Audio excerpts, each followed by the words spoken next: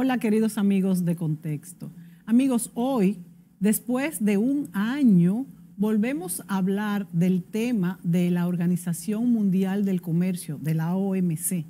Bueno, este es el árbitro de los intercambios mundiales en que en los últimos años nos ha preocupado mucho que parece haber perdido su influencia y su poder.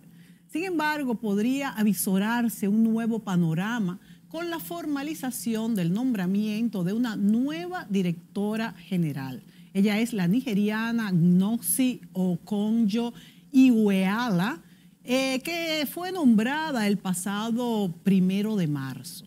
La organización tiene importantes retos por delante y veremos si realmente la señora Gnosi Okonjo Iweala, eh, esta que es la primera africana y la primera mujer al frente de la institución, podrá volver a darle forma, o sea, esa fuerza como juez en el comercio mundial.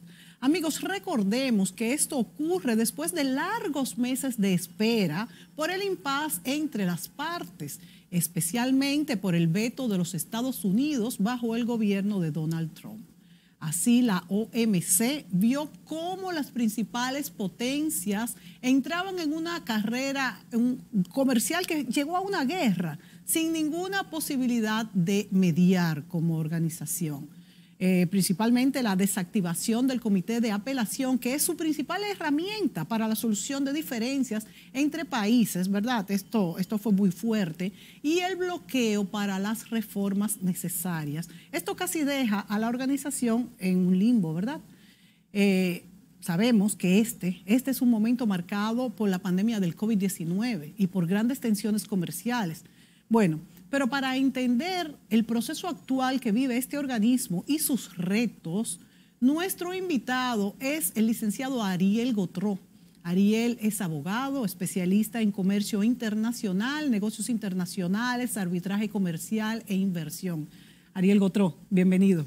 Muchas gracias, Mónica. Contento de poder compartir en este escenario eh, después de mucho tiempo. Después de mucho tiempo, porque, señores, es que la pandemia nos alejó a todos. La pandemia nos alejó a todos y también alejó a la OMC, a la Organización Mundial del Comercio, de una solución a todos estos problemas que tiene. Entonces, yo le pregunto a Ariel Gotró, Ariel, ¿cómo describirías este momento que vive la Organización Mundial del Comercio? Y si tú crees que bajo este escenario actual podrá recuperar su labor de rectora del comercio entre los países, principalmente con esta nueva directora y con estos, estos datos peculiares, porque también la nueva directora tiene un currículum muy importante, fue en el Banco Mundial, tuvo, fue muy, de hecho, casi llegó a ser la, directora, presidenta del Banco Mundial, o sea, quedaron ella y otra.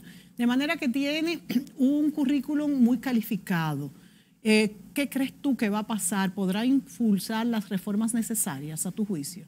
Sí, Mónica, fíjate, em, ciertamente eh, la Organización Mundial del Comercio ahora mismo se encuentra en una encrucijada, ¿no? ante un nuevo paradigma, por decirlo así.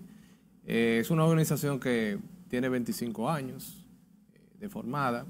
Es una organización que ha venido siendo puesta a prueba de manera sistemática y, bueno, eh, es una organización a la cual se aboca ahora una, una serie de reformas y de cambios estructurales. O sea, vivimos ya en, en, la economía digital, en, en la cuarta revolución industrial, donde probablemente eh, la estructura, eh, los acuerdos y, hasta el propio fin de una organización propia del siglo XX, pues eh, debe actualizarse. Entonces, ya en, entrado el siglo XXI, vemos cómo hay preocupaciones que tienen diferentes actores, diferentes agentes del comercio, los países, los miembros, pero también otras entidades, que eh, necesariamente tienen que ser eh, introducidos en el debate. Em, todo el tema de comercio y desarrollo, em, el tema de salud, de medio ambiente, eh, los propios temas de reforma al, sistema de solución de controversias. Son algunos de los elementos que ahora mismo se están estudiando, están sobre la mesa para ser objeto de reforma y de estudio. Entonces, eh, ese es el escenario ante el cual la OMS se encuentra hoy en día y es lo que la nueva directora general eh, en Gocio Conjo encuentra eh, en, su agenda inmediata. O sea, no, no, es, no es una agenda a la cual ella se tuvo que preparar varios años, sino es algo que encontró eh, el primer día, eh, ahora comenzando el mes de marzo. Entonces, hay necesidades urgentes que hay que atender. Estamos ante una emergencia sanitaria global que ha provocado a su vez una, una crisis, no solamente en los sistemas de salud, sino también en el comercio y las economías de todos los países. Prácticamente todos nuestros países eh, no escapan a esa realidad. Eh, el comercio global el año pasado se estima que descendió eh, aproximadamente un 9%, o sea, el comercio tanto de mercancía como de servicio. y aunque lo vemos como mucho, que un 9%, uno diría, bueno, un 9% es mucho, fue menor que lo que la OMC proyectó en abril, que fue entre un 13 y un 32%. O sea, no, digamos que, terminamos un poco mejor eh, en, el 2020 de lo que se esperaba. Eh, sin embargo, no, fue que terminamos bien. O sea, terminamos eh, en, la, en el descenso más dramático de los últimos 11 años. Y además recordemos que siempre, eh, o sea, fue negativo. regularmente hay un crecimiento positivo, que eso también se le restaría a las expectativas que había para el 2020. Sí, sí, exacto. Todo, todo eso eh, sumado a que aún no hemos salido de la crisis sanitaria, todavía muchos países se encuentran en el tema de la vacunación, em, las propias restricciones eh, de la vacuna, que también lo ha atacado la, nueva directora general. Eh, y la perspectiva para este año, aún con todos estos componentes, se espera que sea positiva, es decir, el comercio eh, se estaría hablando de una recuperación en torno a un 8% este año, según la propia organización. Mm. eso yo lo veo con, como con mucho optimismo porque depende de, varios factores. O sea, eso depende de que, de qué, de la vacunación, de que los países también eh, abran sus, sus, economías, sus fronteras, el, se regularice todo el tema del transporte. Que una tercera eh, ola no afecte eh, dramáticamente a los países.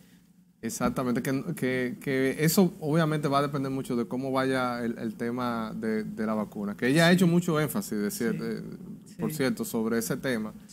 Eh, y de cómo también las propias eh, cadenas globales de distribución, o sea, todas todo el sistema eh, de, que permite que fluyan las mercancías también ha servido como plataforma para que las vacunas lleguen hacia los países. o sea, todas esas cadenas de, distribución, etcétera, han servido mucho. Pero sí estresando la necesidad de que todo ese trabajo se debe hacer ahora. O sea, hay muchas cosas eh, obviamente muchas piezas que se están moviendo al mismo tiempo, pero eh, las prioridades centrales que tiene ahora mismo la organización es, eh, digamos, lograr o facilitar la estabilidad del comercio, el crecimiento y facilitar también todo el tema que es prioritario, que es la salud. O sea, cómo, cómo ellos pueden eliminar trabas que, que ahora mismo existen para que las vacunas lleguen a donde tienen que llegar. Fíjate lo importante de todas estas intríngulis, estructuras, redes comerciales, que en el caso, como tú muy bien señalas, Ariel, eh, todo este transporte, negociación de la vacuna se basa en esta plataforma ya existente en la que la OMC tiene mucho que ver es para que ustedes vean cómo esto va mucho más allá de lo económico y se monta en lo que es una solución sanitaria para el mundo entero. Entonces yo te pregunto, Ariel, cuando la nueva directora, la, eh, nigeriana Okonjo, habla de, de estas soluciones a corto plazo en el tema de salud, ¿qué puede hacer la OMC? ¿Qué está en sus manos respecto a a, bueno, la reactivación del comercio, a que lleguen las vacunas, esa agenda inmediata, porque me imagino que se tienen pues una agenda a corto plazo, una a mediano plazo y una a largo plazo, pero la a corto plazo es salud, las vacunas, para poder entonces abordar las otras agendas que queremos hablar contigo y discutirlas aquí. Pero ¿hay ya algún protocolo estudiado, propuesto? ¿Qué se ha hablado sobre esto? Sí, eh, la organización puede eh, contribuir eh, a facilitar lo que es el, acercamiento del diálogo de los países y de los miembros. Eh, sí, han, han hecho énfasis precisamente en que los países dialoguen para reducir el nivel de requisitos, por ejemplo, requisitos técnicos, em, el, digamos, el despacho rápido de las mercancías, de las vacunas específicamente, em, y otras trabas y permisos que son necesarios, que en circunstancias normales se requieren, porque estamos hablando de productos eh, que son para el consumo y el uso humano, que necesitan eh, tener, por ejemplo, el, registro sanitario, eh, el, registro de propiedad intelectual y todo eso. Entonces, ellos han creado las condiciones, o quieren crear las condiciones, para que esos mecanismos se relajen un poco y entonces las vacunas puedan llegar más rápido hacia su destinatario final, que, son las personas. Entonces, han contribuido. Ahora bien, esa labor también requiere de eh, la participación activa y la colaboración de los países, que son los, países que son los miembros de la OMS. Y de la OMS también, la Organización Mundial de la Salud, ¿tiene algún vínculo en este caso con, la Organización Mundial del Comercio? Sí, ellos, ellos han ido trabajando también eh, conjuntamente. De hecho, la, ellos el año pasado tiraron conjuntamente un, como un estudio que tiene que ver de, sobre el comercio de, mercancías, de bienes, eh, para facilitar el, cuidado y la protección personal, eh, por ejemplo, la mascarilla y ese tipo de cosas. Eh, Ahora bien, el tema de la vacuna tiene que ver más bien con propiedad intelectual, con el tema de mm, propiedad intelectual, del uso de las patentes, porque estamos hablando de propiedad intelectual eh, y no tanto de, bienes, ¿no? O sea, no, tanto de mercancías. Entonces, facilitar ese diálogo es un poco más complejo, eh, porque eh, hay, que hacerlo con las empresas que son las que desarrollan esto, estas vacunas.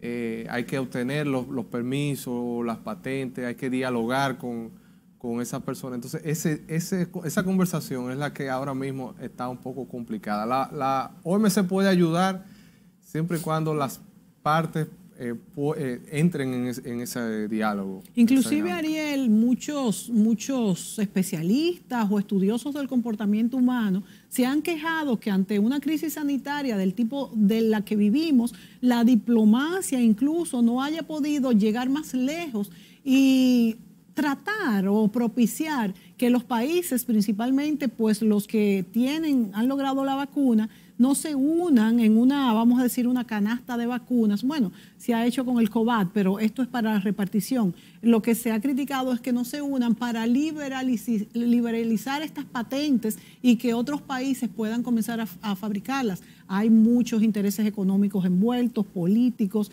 Esto no es tan sencillo. De hecho, creo que nunca se ha hecho, ¿verdad? Con una propiedad intelectual de un medicamento, unas vacunas así. Sí, el, tema también es las restricciones a las exportaciones. O sea, eh, el uso de las patentes y la licencia es una parte y la que impide, ¿no? Que impide que los países que no producen localmente la vacuna pues eh, tengan esta situación. Pero también es eh, las restricciones a las exportaciones. O sea, digamos que probablemente la, la OMC está más concentrada en su trabajo en, todo el tema de la restricción de las importaciones. O sea, casi no se ve el tema de que cómo que los países van a, prohibir las exportaciones. Ellos sí han tenido en los últimos años, eh, inclusive algunas controversias que tienen que ver con restricciones de, exportaciones de, ciertos, eh, de ciertos componentes clave, pero en este caso estamos hablando de una emergencia, no es una situación normal. Eh, estamos hablando de una situación en la cual hay eh, por decirlo así, una, urgencia de tener eh, un, bien que es primario, que es necesario eh, para, la, salud y para la, vida de las personas. Entonces, algunos países que son los que fabrican estos, estos, estas vacunas, sí han, lo, lo, han podido utilizar hasta de cierto punto como una estrategia de diplomacia. Eh, se habla de las diplomacias de las vacunas. Pero lo cierto es que hoy en día vivimos también. Pero la han utilizado ofreciendo y regalando algunas vacunas, pero no dando su fórmula. Todavía no hemos llegado a eso. Sí, ah, no, no, exacto. No han facilitado el tema de la, de, la, de la fórmula, porque eso depende de la propiedad intelectual. Exacto. Pero también hay que tener en cuenta que, eh, a pesar de que hay países que tienen vacunas, ¿no? Inclusive podemos hasta llamar la vacuna de tal país, de tal país. Sí, sí. Eh, hay una relación de interdependencia aún con ese tema de que la vacuna es de un país de otro. Eh, hay componentes clave de todas las vacunas, no solamente de la del COVID, eh, que provienen de ciertos países. Por ejemplo, Chile. Chile tiene una resina de un árbol que, es vital para todas las vacunas. O sea, para el, digamos, un, componente que, que llevan las vacunas. Entonces, ¿Qué ha hecho Chile o qué pueden hacer otros países que, tienen eh, eh, ese, digamos, ese, poder de, negociación? Eh, ha logrado Hacer con esos un intercambio. sí, exactamente, un intercambio para ellos tener vacunas. Ah, de ahí que Chile esté tan adelantado en la vacunación. Entonces, fíjense que nada es fortuito. Porque si no le dan si no le facilitan la vacuna, entonces ellos no facilitan tampoco ese componente necesario, que solamente lo tienen ellos ahora mismo. Eh, y entonces se, retrasa también la producción. Señores, pero fíjense que nada es sencillo. Eh, fíjense cómo evaluamos así rápidamente, que Chile lo ha hecho también, pero no sabíamos esta parte. Por eso siempre yo digo que nuestro país hasta ahora ha estado muy, muy bien con lo, lo de la vacunación. Hemos tenido vacunación, ahora mismo estamos en la segunda dosis. Se dice que se abrirá muy pronto ya a todos los que faltan. Y la verdad es que cuando llegaron esas primeras vacunas, yo llevé a mis padres a vacunarse, aquello fue emocionante cuando yo les pude, bueno, todos, nos, todos tomamos la famosa foto vacunando a nuestros padres, no sé si tú lo hiciste también, Ariel. No, no pude hacerlo. No lo pudiste hacer.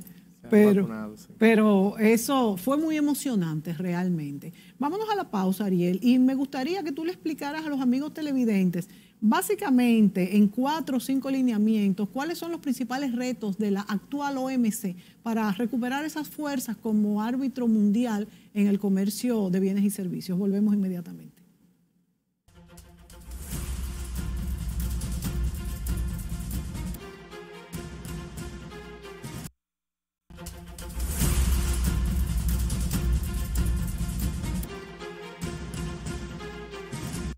Amigos, en este mundo global que, vivimos, eh, esas retículas, esas redes, esas organizaciones rectoras de nuestras acciones, o sea, de las acciones nuestras como personas, pero que se inscriben dentro de un país, son muy importantes. Ese es el caso de la OMC, de la Organización Mundial del Comercio, que como vemos incluso repercute en lo que es nuestra salud.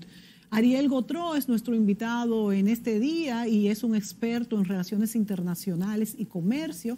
Y yo le preguntaba en el segmento anterior, Ariel, cuáles son esos lineamientos, podríamos decir, que tiene que cambiar, que tiene que revisar la OMC para tomar su fuerza como rectora del comercio mundial. Y tú has hablado también de un comercio digital, de un comercio moderno. Eh, tuvimos muchos escollos en los dos últimos años en cuanto a la OMC. De hecho, yo te pregunto, eh, la nueva directora pudo ser elegida después que el presidente Joe Biden en los Estados Unidos toma el poder. ¿Por qué si, si, si la nueva directora, Noxi eh, Oconjo, es una mujer con una hoja de trabajo, eh, ministra de, Comercio en su país, eh, funcionaria por, creo que fue por 25 años en el Banco Mundial, que casi llega a la presidencia del Banco Mundial, educada en los Estados Unidos. ¿Por qué entonces Donald Trump le cerró el paso ante su, la, la, contendiente, era norcoreana, surcoreana. Surcoreana, perdón. Pues, ¿qué pasó ahí?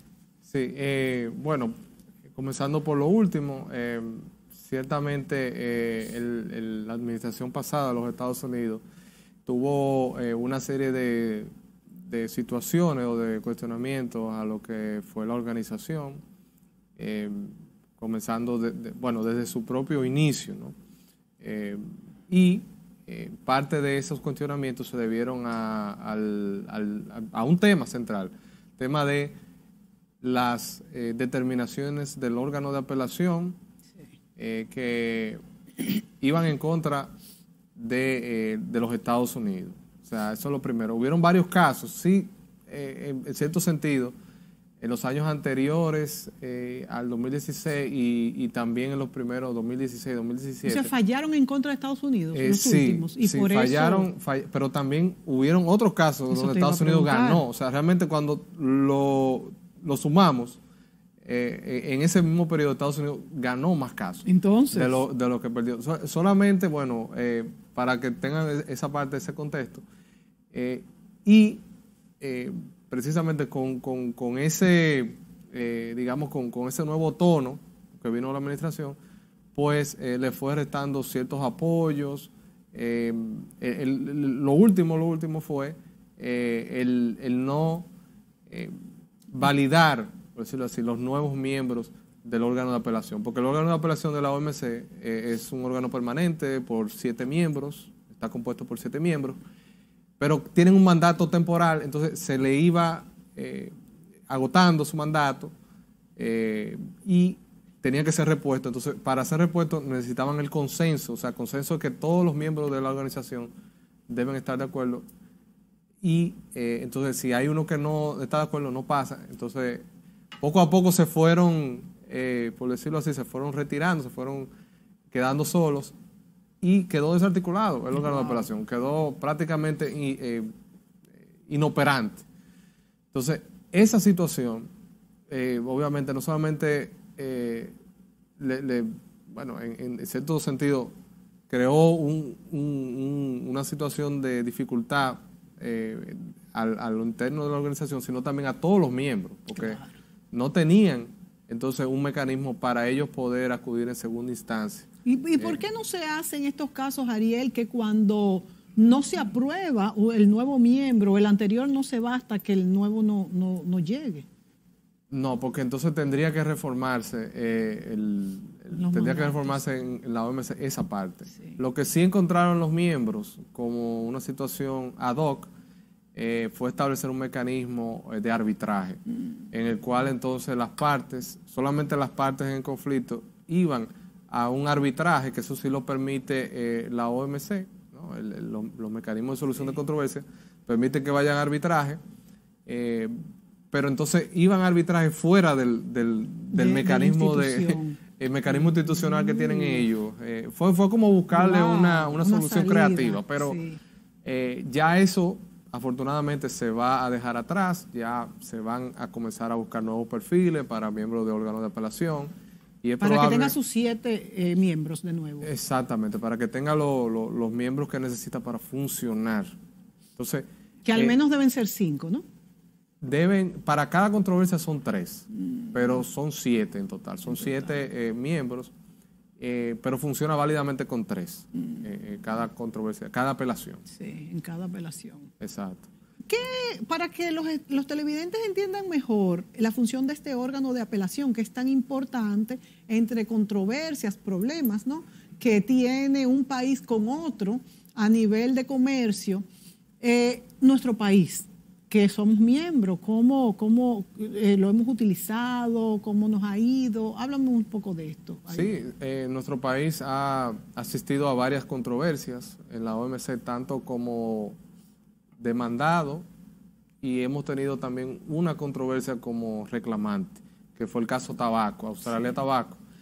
Dicho sea de paso, eh, esa controversia eh, que finalizó el año pasado, eh, nosotros fuimos hasta las últimas consecuencias. Cuando digo eso, que fuimos hasta apelación.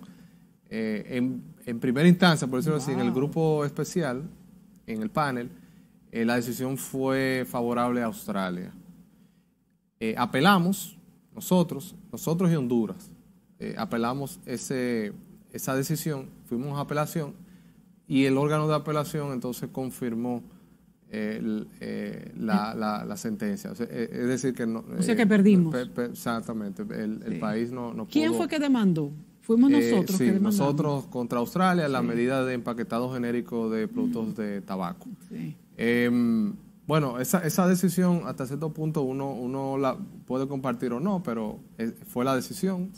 Em, y, y, finalizó ahí, porque ya no hay, no hay otro mecanismo. Claro, después que se apela, ya hay que entonces, en los otros casos, como demandado, eh, no, no, llegamos a apelación. Un caso sí llegamos bastante lejos fue el de los sacos, eh, que fue, fue, hace muchos años, eh, de, los sacos de polipropileno. Ese, ese caso fue contra nosotros como demandado, fue por Costa Rica y otros países centroamericanos. Y ese caso también el país lo, lo perdió. Pero, ¿No hemos ganado ninguno? bueno, de ganar, ganar, no pero sí hemos ido como tercero en algunos casos que han, prosperado. Como tercero, uno puede ir como reclamante, como demandado. Eso te iba a decir. Como, tercer, como tercera parte. Como apoyo. Sí, como, como apoyo. como, como tercero uno puede apoyar tanto al reclamante o a los reclamantes como al demandado. Exacto, exacto. Entonces ahí nos ha ido un poquito mejor, pero eh, como sea, eh, yo considero que debemos fortalecer eh, en parte nuestras capacidades de, digamos, de defensa de lo que es eh, el manejo de los casos. Eh, de hecho, yo eh, me, paso mucho tiempo estudiando los informes y demás, y los países que le han ido mejor en la OMC son aquellos que, que, preparan, que forman un personal, un equipo de defensa permanente, y también no solamente para el tema de defensa en los casos, sino para el tema de defensa comercial en sentido general. O sea, eh, hay países que le ha ido muy, muy bien y han defendido sus posiciones y sus intereses comerciales porque precisamente han mejorado sus capacidades eh, eh, de solución de controversias. Ahora bien, Ariel, ante esto que tú cuentas, ¿verdad? Que tenemos que prepararnos para la solución de controversias y saber defender un expediente. Entonces viene la pregunta obligada de pero también tenemos que prepararnos en el sentido de cómo manejamos el comercio para que no nos vengan estas demandas y podernos defender cuando es el otro que lo hace mal. ¿Hasta qué punto estamos nosotros preparados en este sentido? Y si esto es oficio, vamos a decir, de lo que serían los negociadores comerciales del gobierno, de la plataforma o del, o del exportador en sí, por ejemplo.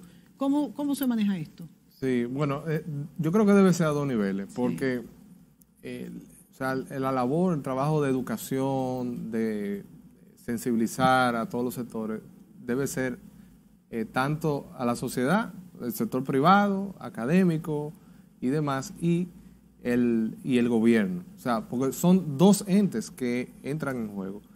Eh, la mayoría de las alarmas, ¿no? de las banderas, las levanta el sector privado. O sea, cuando hay un problema, mira, hay un problema, me están eh, cobrando más aranceles en tal país, etcétera, no me deja entrar mi producto.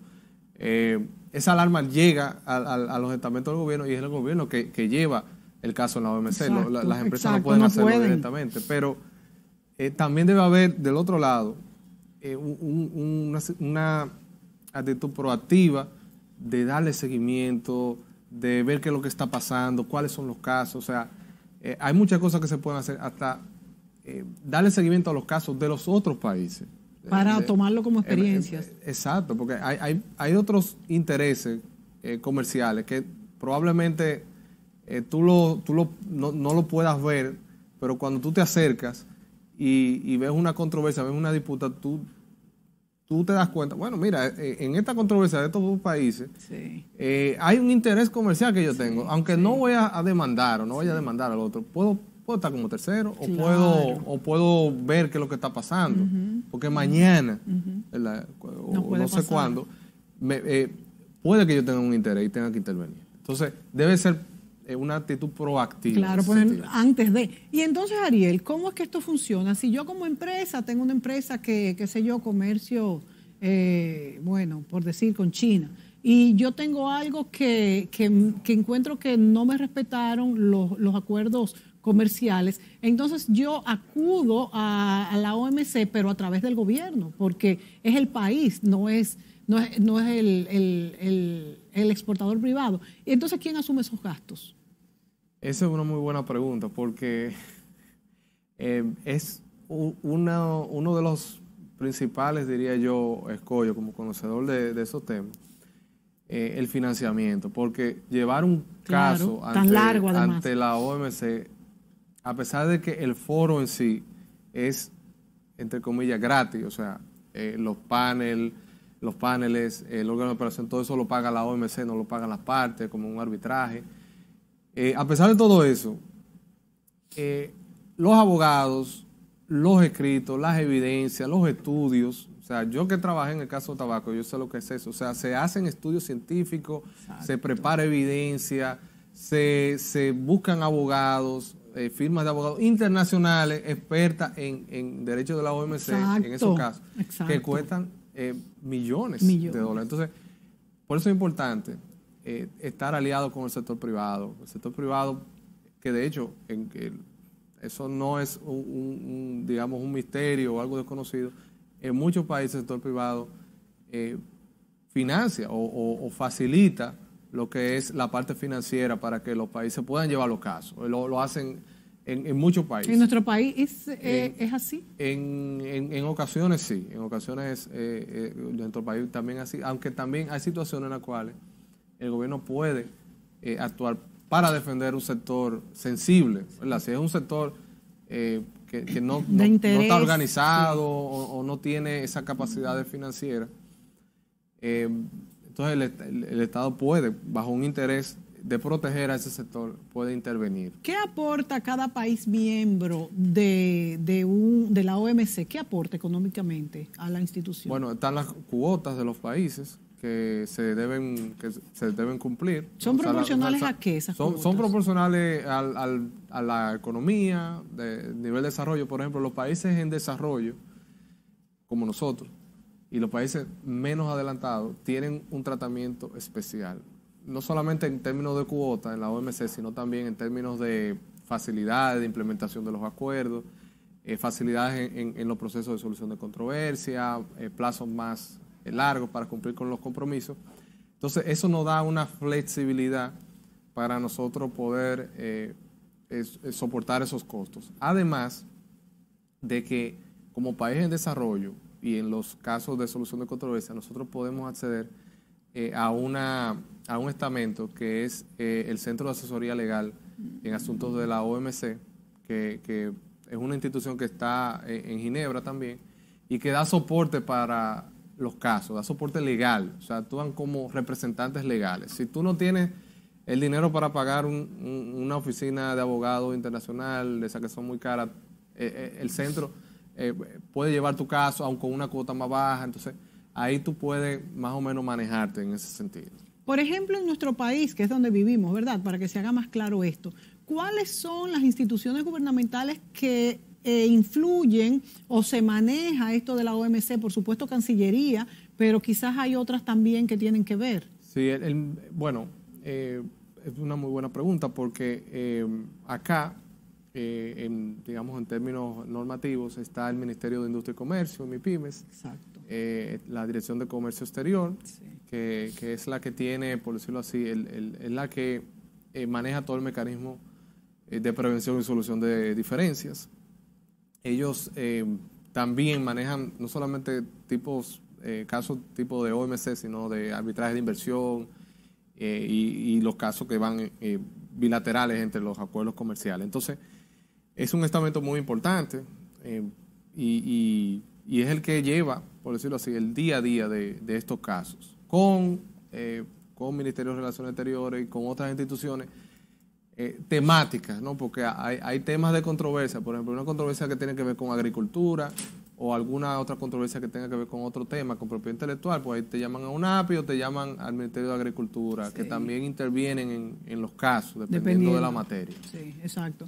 Eh, Ariel, la, la, doctora Gocio Conjo Iwala, es bastante difícil de pronunciar, eh, ha hablado de que ella promoverá un comercio más justo, más justo entre los partners, o sea, entre todos los miembros. Y añade, he visto que ha añadido que no sea solamente para los países principales. Nos vamos a la pausa y me gustaría saber, ante esa aseveración, ¿verdad? Eso quiere decir que ha estado dominada por los países más fuertes, quizás los que más invierten dinero y los países más débiles, nosotros, por ejemplo, una isla pequeña, eh, no tenemos tanta fuerza. ¿Cómo es y qué es lo que se quiere lograr? Volvemos inmediato.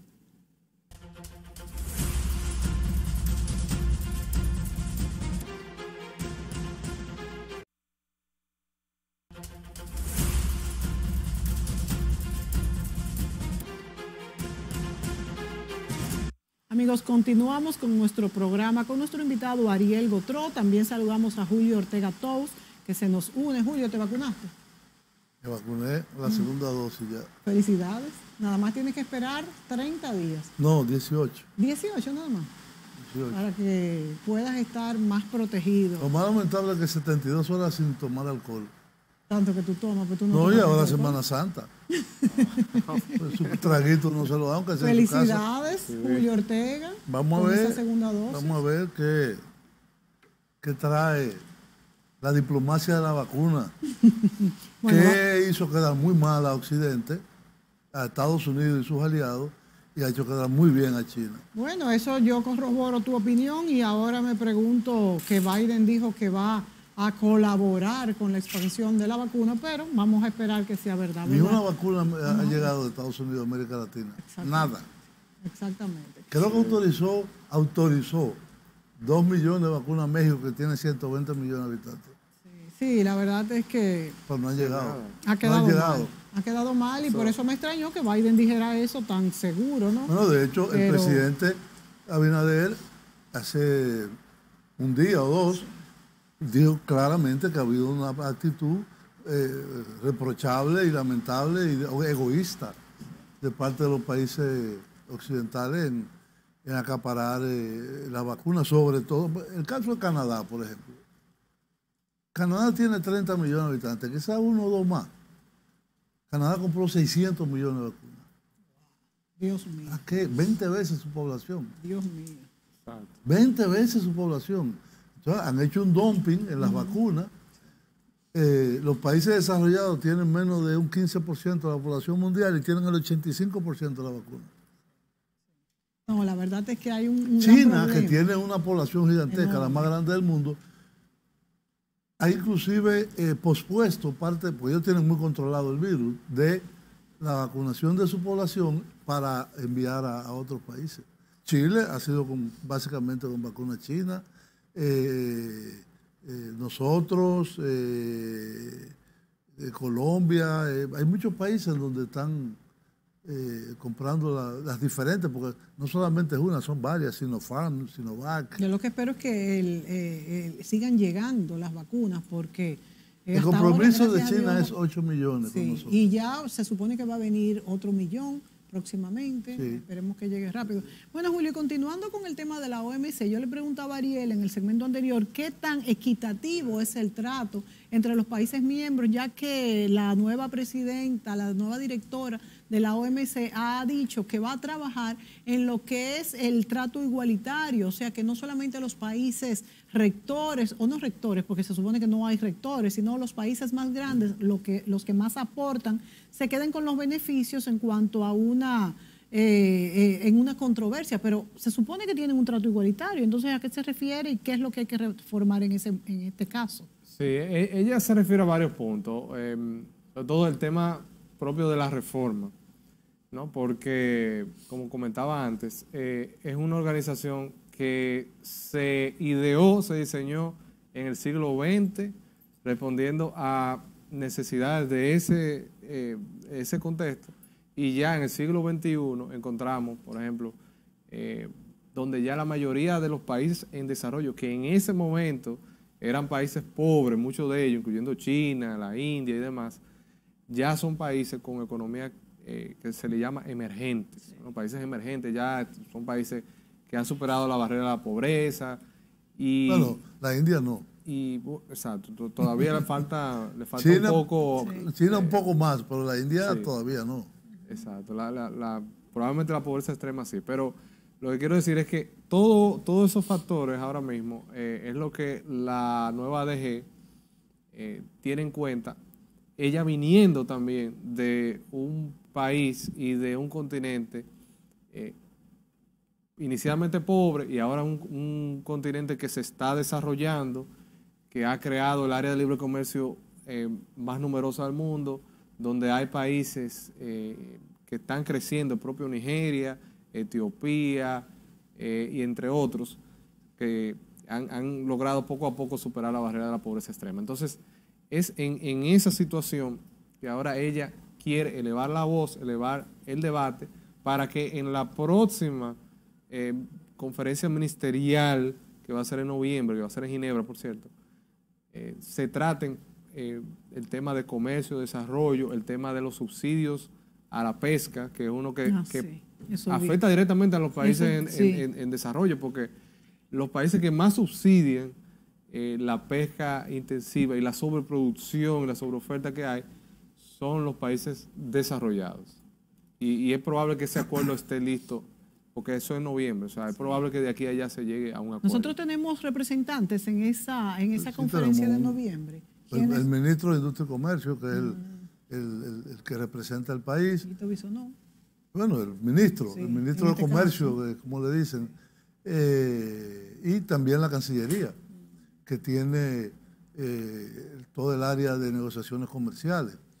Eh, pero la importancia de la OMC, yo creo que hay que, hay que poder ubicarla en un proceso muy largo de, de integración, vamos a llamarle, no voy a decir de desgrabación, de integración del comercio mundial eh, que va más allá del siglo XX, va al siglo XIX inclusive, pero que se ideó al, salir de la Segunda Guerra Mundial.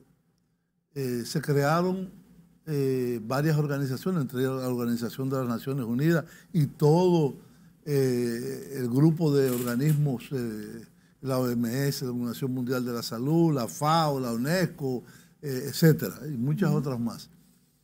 Y en el caso de el comercio, se hizo una conferencia eh, y se llegó a un acuerdo de crear la Organización Mundial del Comercio. Se firmó el acuerdo, pero el Congreso de los Estados Unidos lo rechazó. Lo que, lo que hizo que un país que era en ese momento el 50% del comercio mundial, al no participar, no se inició la, OMS, la OMC, sino que se inició las rondas de, del GATT, del Acuerdo General de, de, tarifas y de, aranceles y, comercio. Eh, entonces, hubo muchos GATT, la ronda de Tokio, la ronda de, Roma, la ronda de tal.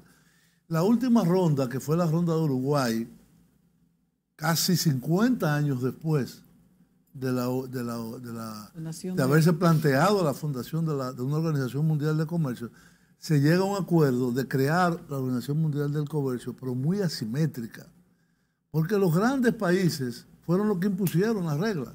Pero no se supone que fuera un organismo eh, eh, eh, democrático y equitativo. No, tú tenías, no, no, oye, por ejemplo, los subsidios no lo trataron.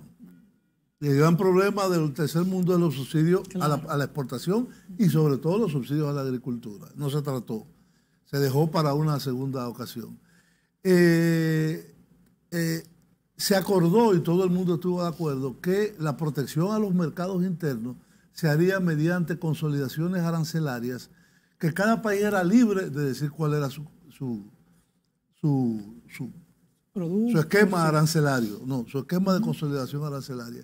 Por ejemplo, nosotros, la República Dominicana, es un error muy grave que cometimos en aquel momento, en el año 94, llevamos una consolidación de 40% de arancel máximo para todas las, partidas arancelarias. Un disparate que cometimos. Tú tienes países que te voy a decir, como la Unión Europea actúa como si fuera un país. Japón, eh, Estados Unidos, que llegaron, por ejemplo, Japón en el arroz tiene arancel de 600%. Estados Unidos igual, Ese, no es que lo aplica, ah, sino se llama arancel consolidado. Es decir, yo puedo llegar, hasta... eso. Entonces, después de ello, eh, se, se comenzó a negociar una, una, un trato más igualitario en el tema de los subsidios agrícolas. Vino la ronda del desarrollo, la ronda Doha, que fracasó todavía el día de hoy. No se ha hecho nada y el bloqueo por parte de Estados Unidos del órgano, que era lo, único importante que quedaba en la OMC, el órgano de, solución de controversias, es como el tribunal de arbitraje de la OMC, en donde un país como Anguila puede demandar a Estados Unidos o nosotros, la Unión o sea que Europea. En este tribunal sí es un trato igualitario, sí, eh, eh, democrático. Entonces, Estados Unidos lo que hizo fue que lo bloqueó. La renovación de los jueces, y ahora dice Biden que lo van a, que lo van a desbloquear. Eh, pero vamos a ver, vamos a ver. De hecho, ellos retiraron la representación de Estados Unidos de la OMC y ahora la han vuelto a enviar. Pero todavía es un trecho largo hay que recorrer. Y entonces, para terminar en este ya último minuto que nos quedan, yo te pregunto, Ariel, eh, nosotros como país pequeño que somos, eh, pero un país con una economía realmente floreciente a pesar de la pandemia, esperemos que siga, después de ¿Qué tanto nos influye, qué tanto nos influyen estas negociaciones en la OMC de cara al futuro? Mira, yo creo que hay, hay factores en los cuales nosotros podemos ser, eh, tenemos, podemos tener un rol más activo.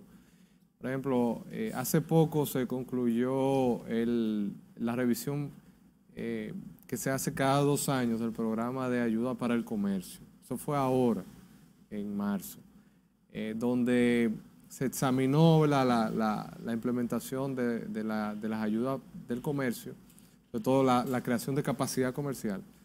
Yo creo que nosotros pudiéramos tener eh, un rol un poquito más activo y eh, dirigir en parte lo que son los esfuerzos, esfuerzos colectivos, porque es una organización, o sea, estamos ahí con 163 miembros, que cada uno baja para su lado, pero nosotros podemos tener un, rol activo, eh, de modo que esos componentes de ayuda para el comercio que nosotros necesitamos, pues se, le pueda dar un, mayor grado de prioridad. Por ejemplo, el fortalecimiento de la capacidad comercial. Eh, eso es sumamente importante para nosotros. y ahora más con, con, el tema de la pandemia. O sea, lo ha dicho la propia directora general, que es uno de los temas donde los países van a necesitar mayor ayuda para precisamente propulsar la recuperación post-COVID. O sea que eh, eh, eh, ahí podemos hacer muchas cosas, se pueden hacer muchas cosas, y todas esas ayudas podemos, en cierto sentido, encaminarlas a nuestras prioridades. Bueno, casi deberíamos hacer otro programa. Sí, pero yo, pienso que hay un aspecto final que son, es una idea. nosotros formamos parte de un grupo de países que se llama Pequeñas Economías Vulnerables eh, y actuamos como bloque. Ese bloque que debe encaminar, y eso es lo que debe ser la prioridad de la política negociadora dominicana, de poder, diríamos, si no liderar, poder, junto al CARICOM, junto a los países del Caribe y de, y de Asia, eh, poder, eh, diríamos, poner junto una propuesta que agruparía 40 o 50 estados que, que son afectados. ¿Pero hay alguna propuesta en cuanto a unirnos en ese sentido? Bueno, eh, eso se puede encaminar. hay varios grupos, GRULA, 77, o sea, como, como, como bien dice Julio, o sea, también ver esas alianzas, los, los mismos intereses que podemos tener y demás, países en desarrollo, eso, eso es algo que se puede trabajar. Hacer otro programa hablando de cómo fortalecer estas, este, esta capacidad de negociación, de comercialización y cómo nos convendría a nosotros en este grupo que mencionan Julio Ortega y Ariel Gotro. Se nos acabó el tiempo. Por hoy ha sido todo, amigos. Así que nos vemos a la próxima.